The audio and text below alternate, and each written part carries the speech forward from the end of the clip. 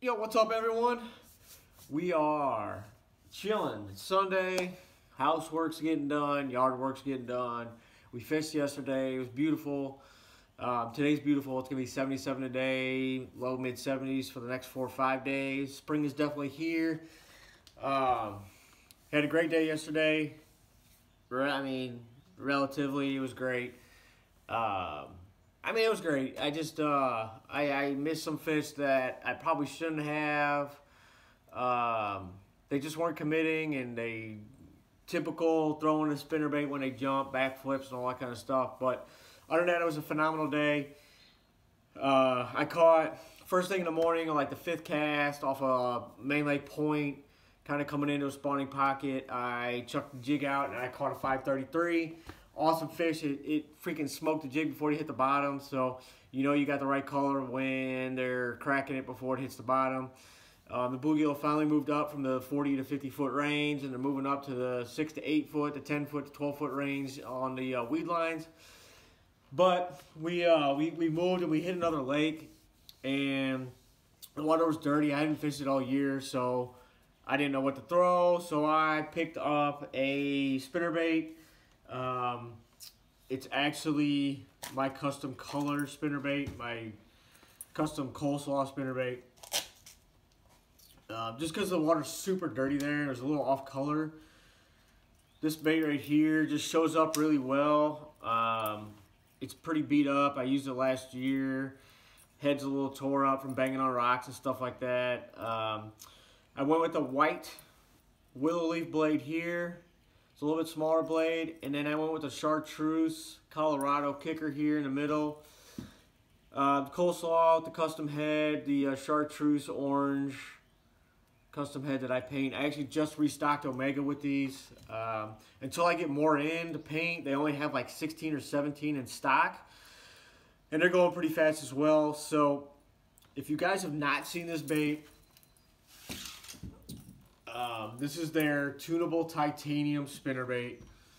So the wire is tunable titanium, so it flexes and gets back, but when you bend it and all that stuff, you can bend it back and it won't break. Um, the unique feature on it is this blade right here is a quick clevis, so you can switch that out. So I can go from a chartreuse uh, Colorado double willow to an orange blade, just like that. Yes, it is that quick and simple. It just rolls. Clip it on, you're good to go. So you can run a single, double, double Colorado, whatever combination you want. We got blades that they sell, you know, online.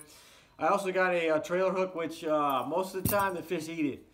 Yesterday, we hit the we hit the second lake, and you know I'm throwing up on the bank because it's kind of shallow for about five feet, and then it drops off. So those fish are kind of off that little drop in that four to five, six foot of rain, you know, water right now, waiting to move up. The water's in the 60s, low 60s, upper 50s. Um, it'll pop this week, but so I was throwing it up.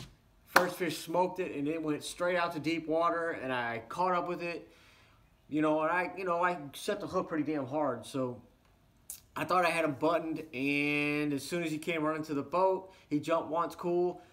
Buddy grabbed the net, um, jumped the second time, and as soon as he jumped the second time, he shook his head and flung the spinnerbait out pretty typical with spinner baits. I mean, the leverage and the weight and all that kind of stuff, they fly out. It happens. I hate it. Um, I'm usually pretty good with uh, keeping them buttoned up. So we fished down the way. That fish was like over five pounds easy. Um, it was fat, chunky fish. It was a good fish. Um, we move down. We go down the way. I stick a really good one. It's probably in the four and a half to five pound range on a spinnerbait on a shallow flat. Again, they're moving from the deeps coming up, just kind of rotating around, waiting to move up and spawn, waiting for the males to make beds. Move down. Um, same thing. I, uh, I I throw it parallel to the bank, or more like a 70 degree angle where I'm where I'm coming off the shallow and kind of dragging it down to drop. Get smoked again. Uh, my buddy's up front. You know, we're both up front throwing spinner baits and doing whatever.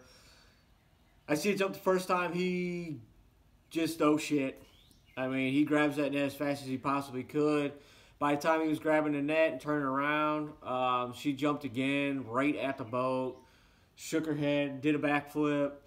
Spinnerbait comes flying out. That fish was over six pounds. Um, really good fish. It's kind of bummed. I mean, two fish, I had about 11 or 12 pounds. Um, you know, it happens. It is what it is. Not a big deal. We were just kind of out there having some fun. Um, a couple, you know, hour and a half goes, and we hit the flat again. And there's some rock and some, uh, like a standing timber or stick or something on it. Power pole down. Um, he's throwing a spinner bait out back, and I'm throwing a spinner bait. I turn around and I just fling it right over the flat bring it by, and I get absolutely crushed by this fish. And it was a giant. I see her jump, and I'm freaking out. Um, the fish ends up in the net, get her in, and it ends up being a 707. It's my biggest fish of this year. Uh, huge fish. She's super fat. I mean, she is ready to drop eggs and spawn probably in the next, I would say, two weeks. Whatever this full moon is, if we can continue this warm trend, they're all going to drop eggs within the next two weeks or three weeks um, on some of these lakes. Bigger impoundments, it's going to take a little bit about a month or so, but we're warming pretty quick. I mean, it's going to be in the 70s, so it's super cool. Um, I'm throwing it on 20 pound Seaguar AbrazX. I like the heavy line. Um, it's got little stretch, not too bad. I'm throwing on the uh, Dobyns Sierra 703C. Daiwa Steez A, 6 3 to 1 gear ratio. Um, no carbon handle on this one, just a typical handle. Um, you know, I've got my brake setting to 5 or 4 to 6, depending on the wind. But this is the uh, Coleslaw half ounce custom uh, Omega Custom Tackle spinnerbait. I love the way you can just swap out blades. I do it all the time to match the forage and match colors, especially with your skirts and everything. You can kind of customize it. But that is it, guys. Smash that thumbs up. I actually have one more. One more. Um, getting schooled with reels. I forgot I, I had some other reels. It's actually probably one of my most uh, enjoyable is the finesse stuff. So, I'm going to hopefully post that up this week. And we'll talk to you guys later. Smash that thumbs up, guys. I'll talk to you guys later.